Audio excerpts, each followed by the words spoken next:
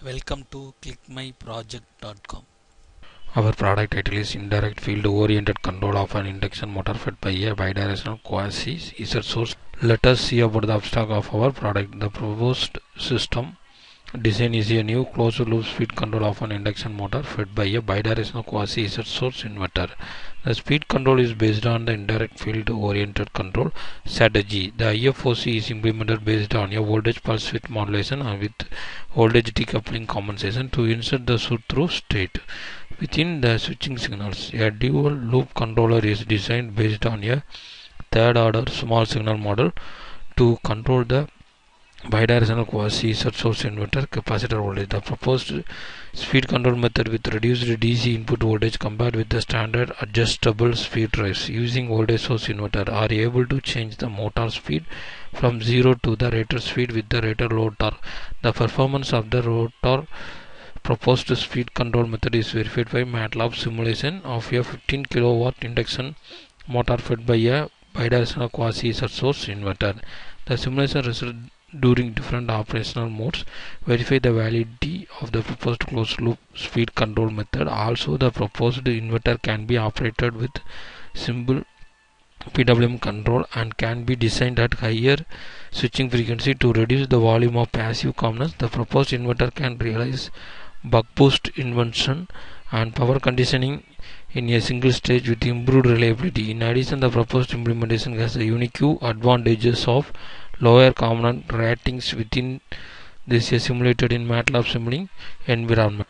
Next we see about the flow diagram of our product. In this flow diagram the input source is a DC supply and because the main objective of the flow is the inverter function. So inverter means that convert DC to AC supply. So uh, the input source is a DC supply. Then that DC supply is fed into the quasi Z source network.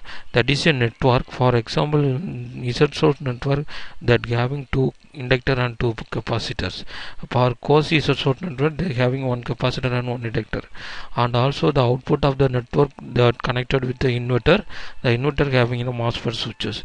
And also the input source voltage is getting from the source and it fit into the voltage controller. In voltage controller is compared with the reference value then is fit into the current controller. And also the current value is getting from the input side.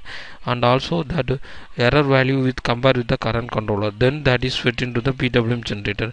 And also the IFOC indirect field oriented controller is getting some values from the output side and then that process is uh, inner blocks that processed then that fit into the PWM generator. Finally that PWM generator generate the pulses for six switches in connected in the inverter section. Then that switches is uh, deliver the triggering signal then that output is a AC supply will get then that AC supply is fed into the induction motor. Here we using induction motor rating is 15 kilowatt induction motor. And also the traditional ASD system is based on a VSI which consists of a diode rectifier front end DC link capacitor and inverter bridge.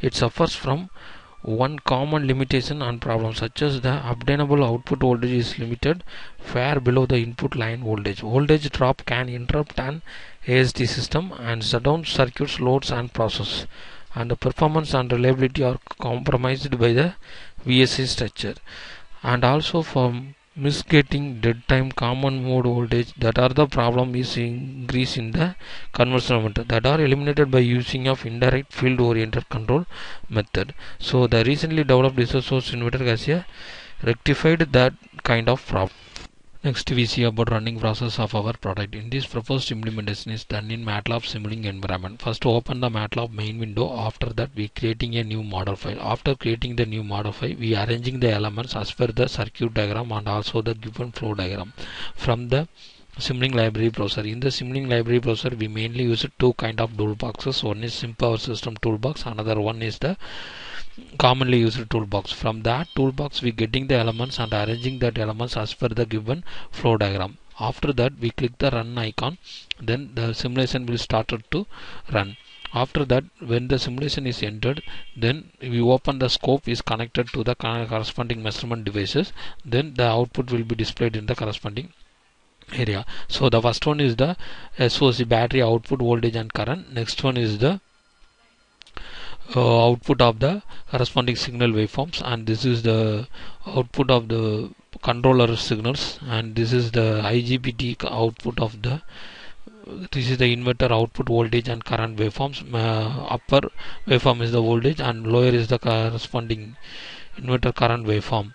And also next one is the corresponding motor output using in that design uh, rotor current and rotor current IB and rotor current IC and also the rotor current IA, IQ and ID that is the quadrature and direct axis currents.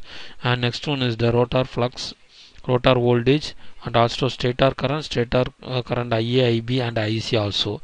And this is the LM rotor speed and electromagnetic torque and also that waveforms are here given. So the overall motor is controlled by using of the corresponding bidirectional quasi source inverter. So the overall motor is controlled by the using of the indirect field oriented control. Thank you for watching this video